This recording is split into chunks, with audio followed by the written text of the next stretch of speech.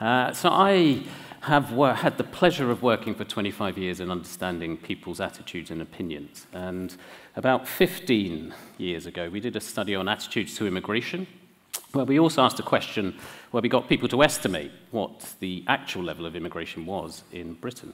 And people were incredibly wrong. So they, they overestimated by two or three times the actual level. And it made me think two things. First of all, is immigration the only thing that we get wrong in terms of perception versus reality? And then second thing was, is it just Britain that's uniquely rubbish at this, or does it happen all around the world? And so that was the start of the Perils of Perception studies. So since then, we've done dozens of studies, over 100,000 interviews across 100 different topics, and up to 40 uh, countries. Very simple premise. We just get people to guess at realities, look at the gap between the two, uh, and then try to understand both why and then what we can do about it. That's kind of the whole principle for it. So the best way to do this is just to ask you the questions. I'm such an obsessive about people's opinions and attitudes that I can't help, can't stop myself from asking people, even up here. I'm going to ask you these uh, questions. Just three questions to illustrate three different sorts of effects. And this is the first one. This is kind of a typical example. Uh, so what percentage of women and girls aged 15 to 19 in your country do you think give birth each year? That's what we'd ask. And this was asked across about uh, 30 countries, but let's just do it for Britain since we're in uh, Britain. Just uh, shout out an answer. What percentage of women and girls aged 15 to 19 uh, in Britain do you think give birth each year? Just shout it out, nice and loud, because it's a very big room. Five, 15, eight, 10, 20, 3, 0.5. So you really don't have a clue. You're all over, you're, you're all over the place. Uh, well done if you went pretty low in that. It's actually uh, 1.4%. 1.4% teenage girls give birth each year. 2% in the US, 6 in Argentina, a bit higher there, but 2% overall around the world. This is a rare event. It's a rare occurrence. But you wouldn't think that when you look at people's guesses, average guesses around the world. These are the average guesses, the mean guess. So 19%, 24%, 37% in Argentina, 37%, uh, and about a quarter overall. So when you think about that, it's slightly absurd. So in an all-girl class of 30, that would be six girls giving birth every single year, six baby showers every single year in, in, in, these, in these classes. It gives these enormous gaps between perceptions and uh, reality. So the question is why? Uh, and a big part of it is the vivid emotional stories that we remember. So we, all those things about us being storytelling animals are true. We are drawn to the vivid and unusual. In this case, social psychologists call the effect emotional innumeracy. So we have an emotional reaction to these types of things. And it means literally that we overestimate what we worry about as much as worrying about what we overestimate. So cause and effect run in both directions. We think something is bigger in our brains because we're worried about it. Um, and because we're drawn to these vivid, unusual stories, that's what the media uh, give us because uh, they know what we like as storytelling animals, so they give us more of that. So that means things like, I guarantee you will never see a headline uh, like this. the editors won't choose it because they know that we don't really want to read about it. Um, so that's kind of that's one of the, the key effects. There is a second one in overestimating teenage pregnancies is we're useless at spotting slow positive changes. And so if you've seen the work of Hans Rosling, Steven Pinker, Max Rosa in the UK, this is a similar sort of point to this. This is the trends in birth rates per thousand females aged 15 to 19 in the US across different ethnic groups. But it's the same in other countries. This enormous decline in teenage births from 1990 up to 2014, more than halved over that type of period. It's same in loads and loads of different countries, same, same pattern, but we don't notice those small incremental improvements because it doesn't get reported so much, but it, we're also not, our attention is not drawn uh, towards those types of things. Instead, we tend to focus on negative information, and this was shown in a great series of experiments by US professor John Cacioppo and his team, where he got a series of images that were positive, images that were negative, wired people up to MRI scanners, measured brain activity to see how intensely and where the brain reacted. And uh, so he had a series of positive images first, which this was an American experiment. So the positive images were things like pizza. Pizza and Ferraris were the two uh, positive images. Uh, and uh, the negative images were things like mutilated faces and dead cats. See, it always gets that reaction, a sort of slight uh, uh, repulsion at that kind of idea. So let me, before we go any further, let me just reassure you that that cat is not dead. it's just resting. Uh, because I had to look at lots of pictures of dead cats for this presentation, um, and I couldn't show them to you because you do react to it in a more visceral way when you do see those types of things. It, the, the experimental pictures that he used, I couldn't show in this type of thing because that would be the only thing you remember from this presentation. I, I would be the dead cat guy, uh, and that's all, that's all you would take from this. Uh, so it's kind of a live example of how these effects work. We are drawn more to these negative uh, images, and that's like not a dumb fault of our brain, it's actually evolutionary. So when we were cave people, uh, negative information was often threat-based information. So if you didn't act on it, if you didn't act on the warning of the saber-toothed tiger lurking behind the bushes, you were literally edited out of the gene pool. So uh, we are the long line of descendants of, of uh, successful species that has paid a lot of attention to negative information. So that's how our brains uh, work. So vivid negative stories, unusual stories are unusual. This is the kind of first lesson. Remember that they are unusual. And things that, what that means is, things are literally not as bad as you think, just because of the way our brains work. So that's point one. Point two, uh, illustrated by this question Do you think the murder rate in your country is higher, lower, about the same as it was in 2000? Let's do it for Britain again. Just shout out higher, lower, lower. lower same, same, but mostly the lower, because you've got the theme of the presentation already. I've, I've, I've, kind of given it away. But it is, it is a lot lower, 29%. 29%, which is coincidentally is the same across 30 countries. This is a worldwide trend of declining murder rates over time, but that is not the general perception. So the red bar is the percentage of people who said higher, blue bar is the percentage of people who said lower.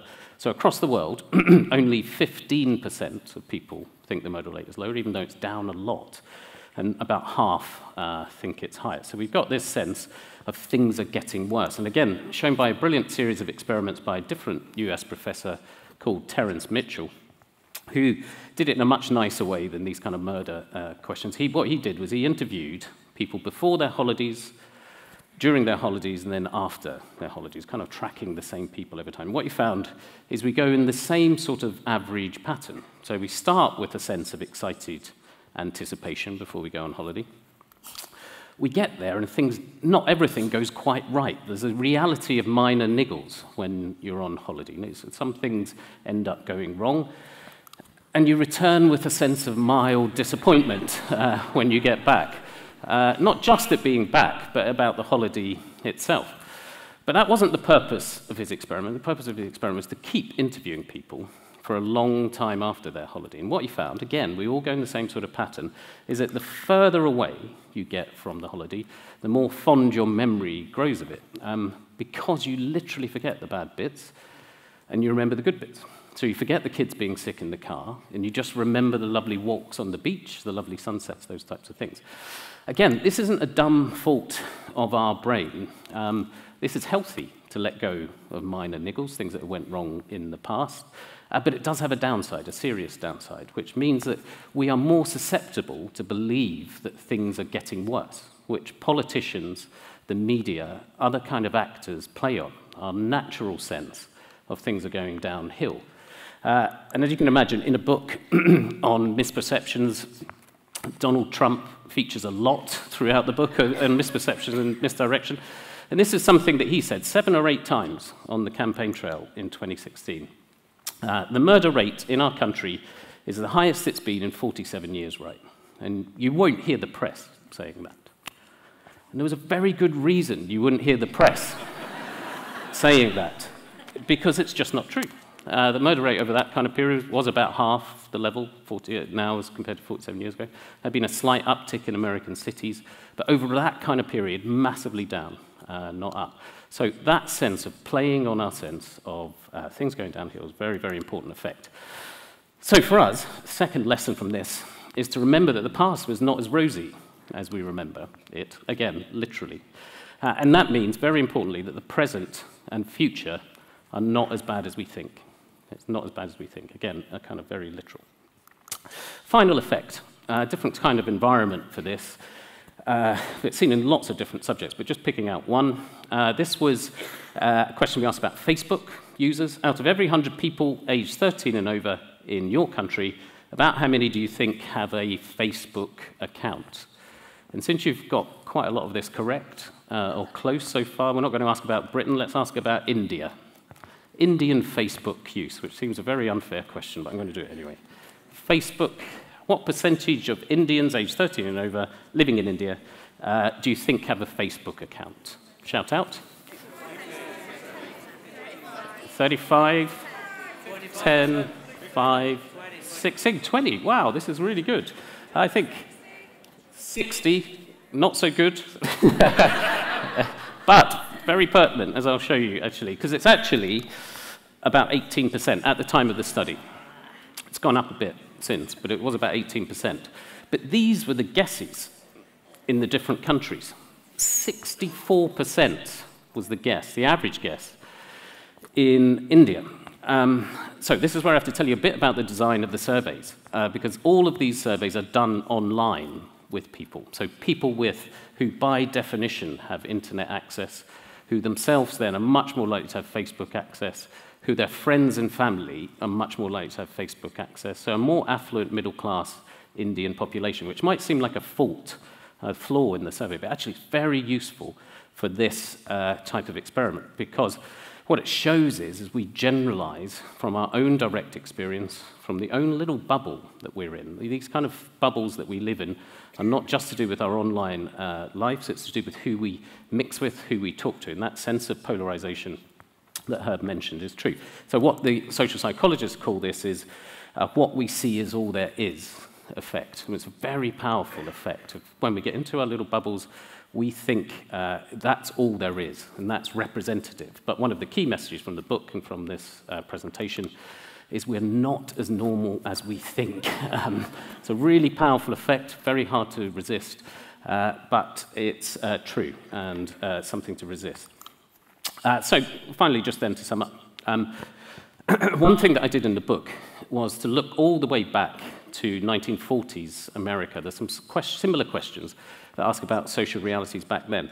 Uh, and what that shows is we were just as wrong, people were just as wrong in the US in the 1940s about things like immigration, unemployment levels, those types of things, as we are now. So there is this temptation to think this is a brand new uh, thing, that we've got a lot of focus on alternative facts, uh, fake news, post-truth, but this is something much more systemic. This is built into the way we think, and it's built into the media environment that we get. So we've got to be mindful of that. Having said that, there is something more dangerous about our current information environment in terms of uh, reinforcing people's incorrect views of the world. And it's not so much that we're changing people's perceptions and people are getting more wrong.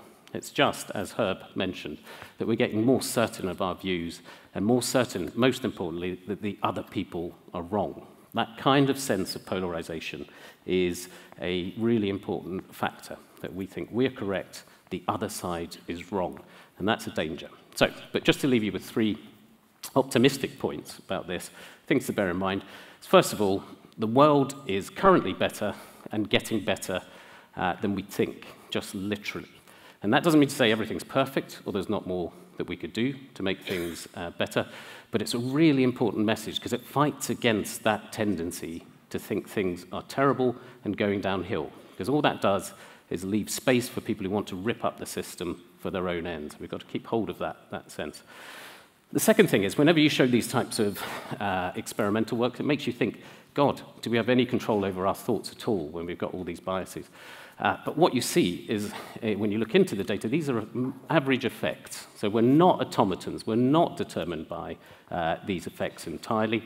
We do have free will, and I see it a lot in my day-to-day -day work where we get people together in citizens' assemblies and things like that, and people do take on new information, do change their minds, and do talk across the divides when you get them in the right sort of environment. So we shouldn't be too downhearted about polarization. But third and final point, point, and the only thing that you've really got to remember, if there's only one thing you remember from this, It's that the cat is alive and well. Thank you very much.